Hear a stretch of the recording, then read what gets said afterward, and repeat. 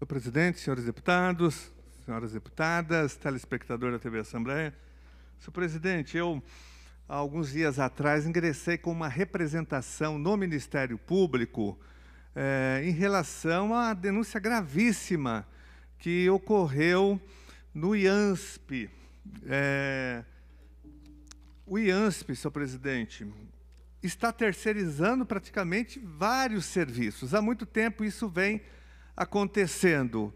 E agora, mais recentemente, nós tivemos uma denúncia de que o pronto-socorro foi terceirizado, pronto-socorro que atende a população. Mas não houve concurso público para suprir os cargos vagos. Né? O, no portal da transparência do IANSP, nós temos 99 cargos vagos de enfermeiras, 434 cargos de técnicos de enfermagem, 347 cargos vagos de médicos e 185 cargos vagos de oficiais administrativos. O IANSP tem que fazer concurso, abrir concurso e contratar esses, profissionais da saúde via concurso público. O IANSP não faz isso. O que ele faz? Ele terceiriza esses serviços em várias áreas, mas agora chegou ao cúmulo de terceirizar o pronto-socorro.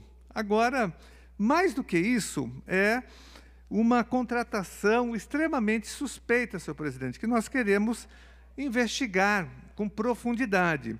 Essa terceirização foi feita sem licitação, né, através da empresa Sociedade para a Excelência da Saúde e Medicina Limitada. E ela ocorreu no dia 1 de novembro de 2018. Né? Então, houve a primeira é, contratação sem licitação, dentro ainda da lei é, federal de, sobre licitação, a lei 8666 de 93, né, que, que fala em dispensa de licitação, mas proíbe a prorrogação dos contratos. No entanto, essa mesma empresa teve a prorrogação dos contratos, porque o primeiro contrato foi esse que eu citei no dia 1 do 11 de 2018, num valor de R$ 2 milhões e 619 mil reais.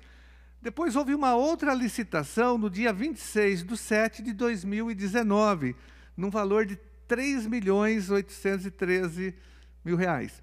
E em seguida, no dia 22 agora do 1 de janeiro, mais uma licitação de 8 milhões, ou seja, os valores foram subindo pelo mesmo trabalho, pelo mesmo serviço efetuado. Então, para nós, isso é altamente suspeito, além de terceirizar é, um serviço é, essencial, que é o atendimento do pronto-socorro, para uma empresa é, que não teve licitação e depois prorrogou os contratos, e isso é proibido pela lei federal. Então, são várias irregularidades, senhor presidente, que nós estamos questionando o IANSP no Ministério Público.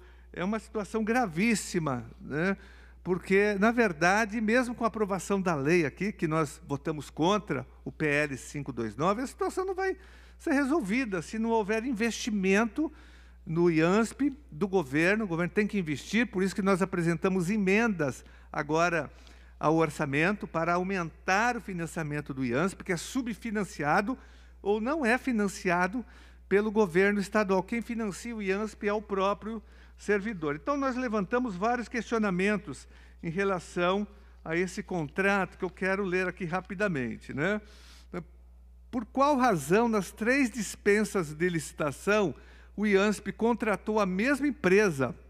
Houve cotação de preços em outras empresas? Essa é uma pergunta que nós estamos fazendo para o IANSP e para o Ministério Público.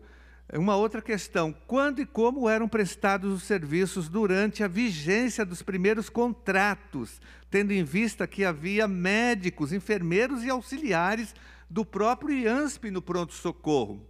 Outra questão: como os valores do contrato podem ter sido majorados né, de 439 mil reais por mês para 2 milhões e 489 mil por mês, pelo mesmo serviço, que foi a questão que eu tinha levantado inicialmente. Mais uma ainda, mais uma questão. Porque o atendimento da consultoria jurídica sobre a excepcionalidade da contratação de prestação de serviços para atividade fim foi ignorada e o IANSP passou todo o pronto-socorro para uma empresa privada. E por fim, senhor presidente, por que o IANSP se manteve inerte diante da necessidade de realização de concurso público e preenchimento de, de cargos vagos, a ponto de ter de contratar uma empresa privada por sucessivos períodos? Isso explica né, que o IANSP está sendo todo terceirizado e privatizado e precarizado. É isso que está acontecendo. Então, essa é mais uma das muitas denúncias contra esse processo de terceirização que nós estamos exigindo que essa denúncia seja investigada imediatamente pelo Ministério Público e os responsáveis punidos por essa grande irregularidade, senhor presidente, que afronta a legislação federal e afronta a atividade fim do Hospital do Servidor Público, afastando os médicos do serviço público. É um absurdo isso que está acontecendo. Então, nós exigimos uma investigação profunda do Ministério Público contra esse processo de terceirização e de sucateamento do IANSP, que vem prejudicando os servidores do IANSP, mas todos os servidores públicos do Estado de São Paulo que são atendidos principalmente aqui no Hospital do Servidor Público Estadual. Muito obrigado, senhor presidente.